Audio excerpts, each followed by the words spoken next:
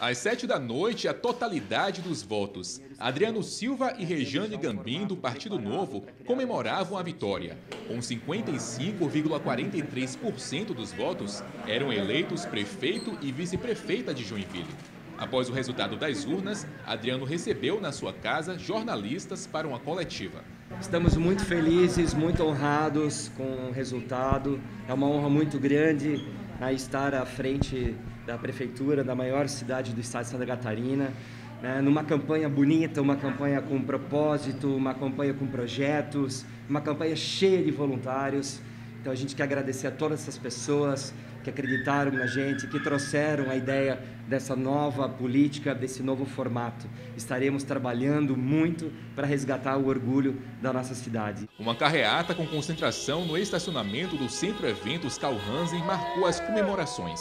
Por causa da pandemia da Covid-19, o prefeito eleito preferiu uma celebração mais modesta, um buzinaço com seus apoiadores nas principais ruas do centro. É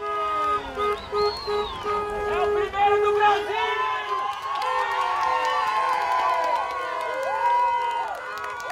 Conheço o Adriano e sei que ele é uma pessoa maravilhosa, sempre foi. Não é de hoje, que ele é uma pessoa humana, ajuda muitas pessoas também e ele é a mudança. Joinville tem tudo para entrar numa nova fase de seriedade, de administração séria, correta, participativa, que vai fazer nós joinvilenses termos orgulho novamente da nossa cidade. Então a senhora está feliz aí né, com a vitória? Feliz que desde o começo eu estou lutando, lutando e queremos ser um Joinville melhor, queremos um Joinville de paz, de amor, de alegria, de tudo isso que nós merecemos.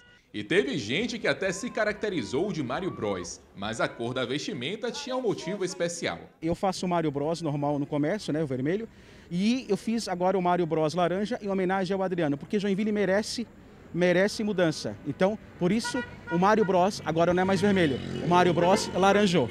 Leandro relembra os bons momentos com o futuro prefeito no Corpo de Bombeiros Voluntários de Joinville. Para ele, suas qualidades pessoais contribuirão para a boa gestão na cidade. Eu tenho muito orgulho de, de ser amigo dele, porque eu conheço tá, a pessoa do Adriano e não só a, o candidato a prefeito. Tá? Ele é uma pessoa família, uma pessoa que gosta de ajudar Joinville. Ele quer uma Joinville melhor. Então é por isso que eu apoio ele. Pandemia não dá para fazer festa, tem que só fazer carreata para comemorar. Muito obrigada, tá?